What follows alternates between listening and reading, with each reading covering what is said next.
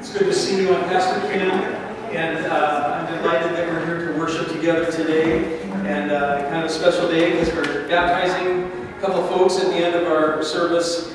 And it's a special day because in the midst of the very troubled world that we live in, I guess I could always say that, but it always feels like it's getting more troubled.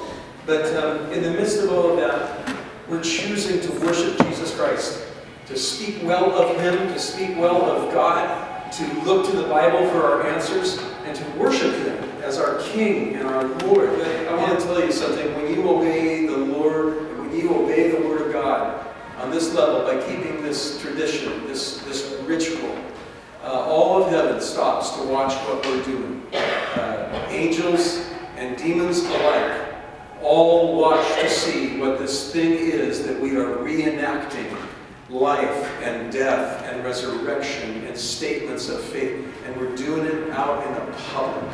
And it's big. And it counts for something big that you may not see, but it's a big deal. So when people chose to be baptized and baptized in the name of Jesus, they were being baptized, identifying with his death and identifying with his resurrection coming out for new life. And it's letting the old life be washed away and the new life in Christ to come forward. It's a public declaration of faith. Hi everyone. Thank you for witnessing this momentous occasion.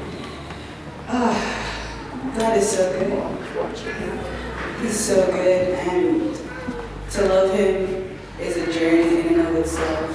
To follow him, which is this, which are the steps I'm taking now, is life changing. And it's only been really couple months since he's called me in such a powerful way that I couldn't resist it anymore. Because he's always been there, but I didn't always listen, which is a part of being a willful human. Um, but I've now surrendered my will to him, surrendered my ways for his, and it's been the best decision I've ever made. It's been challenging.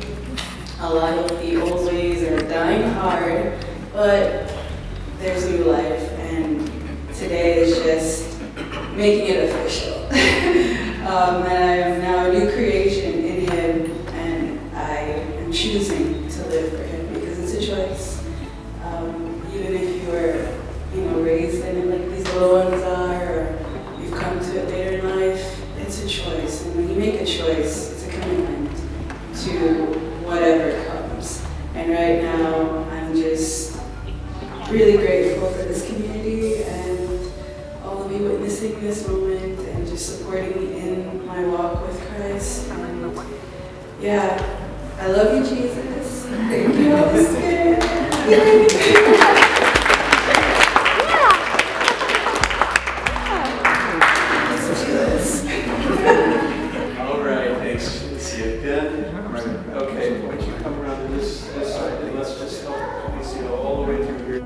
this or.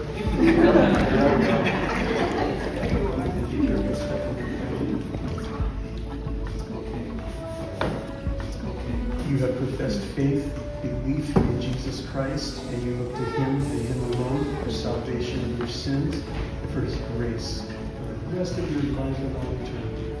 We are baptizing you for this today. Go ahead and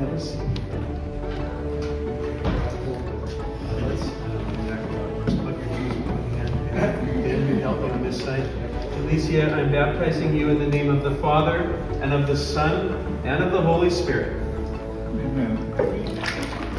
Some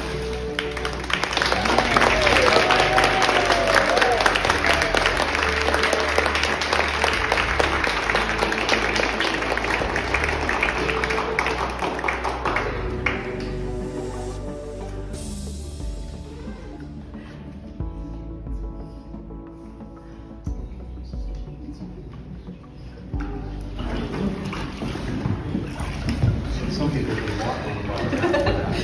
quite there.